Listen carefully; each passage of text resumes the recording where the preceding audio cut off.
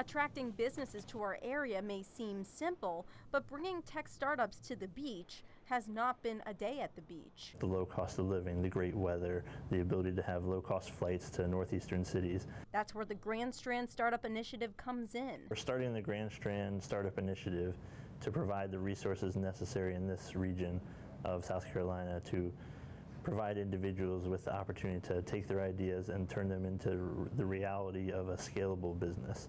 Mike Stroll's group CoWork MYR has been working with local economic development corporations to apply for a quarter million dollars in state grant money. We're now working as a team to try to decide how do we apply, what's our strategy, what will that uh, uh, what would that grant application look like? President and CEO of Myrtle Beach's Economic Development Corporation, Brad Lofton, says technology is an important job sector to target for future economic growth. We don't have an interstate, and so if we're going to grow jobs here, we have to go after certain types of jobs that don't necessarily need an interstate. And so, you know, light manufacturing, uh, aerospace, but primarily technology. It's an ambitious initiative aiming to change our economic landscape. It's something that uh, is going to take some time to develop, but we're beginning to take those steps, and I'm excited about it. And some state money could help get the ball rolling. In Myrtle Beach, April Baker, WPDE News Channel 15.